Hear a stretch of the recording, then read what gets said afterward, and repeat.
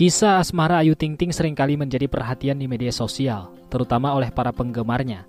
Ayu telah mengalami beberapa kali pembatalan pernikahan. Salah satu contohnya adalah kejadian yang terjadi beberapa waktu lalu. Nyanyi dangdut Ayu Ting Ting pernah merasakan pahitnya cinta ketika hubungannya dengan Aditya Jayusman berakhir beberapa tahun lalu. Kebahagiaan lantas terpancar dari Ayu Ting Ting setelah mengadakan pertunangan dengan Letu Muhammad Fardana. Diketahui sempat menutupi hubungan dekatnya dengan Letu Fardana, Ayu Ting Ting berakhir dengan pertunangan. Pertunangan tersebut menjadi perbincangan hangat karena begitu mengejutkan. Hubungan romantis antara Ayu Ting Ting dan Muhammad Fardana akhirnya menarik perhatian para penggemar. Tetapi, postingan terbaru Instagram milik Letu Fardana tengah dibicarakan fans. Pasalnya, Letu Fardana menunjukkan gelagat tak biasa di mata para fansnya. Baru-baru saja Letu TNI Fardana menghapus semua foto tunangannya di Instagram. Mulai dari foto momen pertunangan hingga buka puasa bersama dengan Ayu Ting Ting. Semua foto yang berbau Ayu Ting Ting mendadak hilang dari feed Instagram Letu Fardana.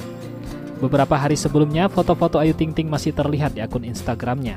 Namun tak lama kemudian, foto-foto tersebut tiba-tiba menghilang dari laman Instagramnya.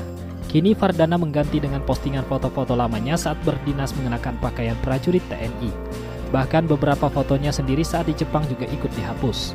Hanya tinggal beberapa fotonya di Jepang yang masih tersisa di laman Instagram. Di satu sisi, foto-foto Fardana masih ada di Instagram pribadi Ayu Ting Ting, baik foto saat bertunangan maupun foto lebaran mereka. Tak diketahui penyebabnya, namun para penggemar berharap hubungan mereka baik-baik saja. Alasan Letu Fardana menghapus foto-foto Ayu Ting Ting ini menjadi perbincangan. Beberapa asumsi muncul menyatakan bahwa Letnan Satu Fardana menghapus foto-foto tersebut untuk melindungi dirinya mengingat saat ini ia sedang bertugas dalam satuan tugas di Papua.